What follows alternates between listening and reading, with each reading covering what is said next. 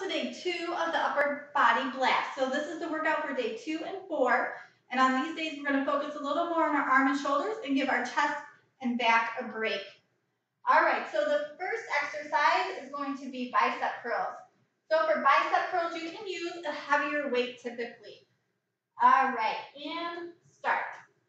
So we're gonna curl up. We're gonna have our palms facing the ceiling. Remember, we want a slight bend in our knees and you should be, your tummy should be tight. So a slight bend in the knees. We're not letting our stomach hang out. We're nice and tall.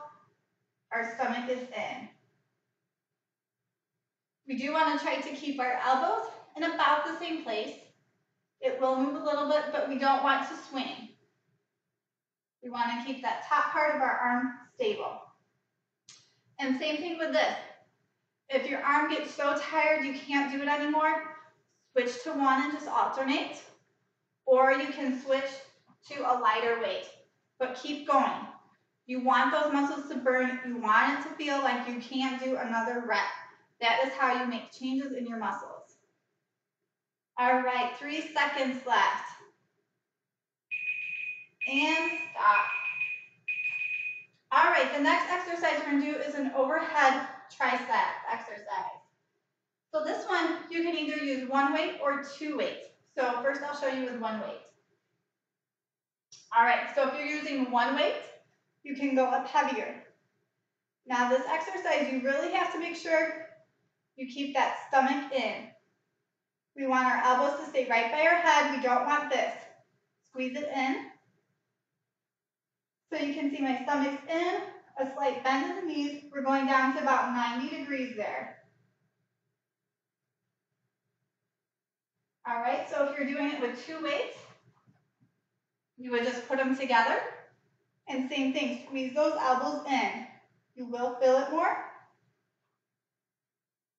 And another way to make it a little more challenging, if you don't have heavy weights, is to separate them like that. It really makes you focus more but you still want to keep the arm in close to your ears.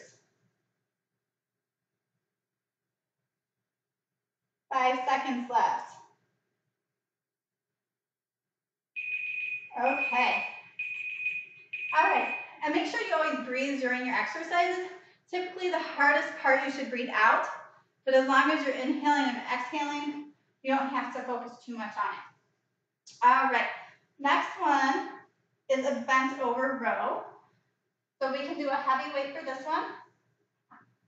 And this is going to work more of our lats.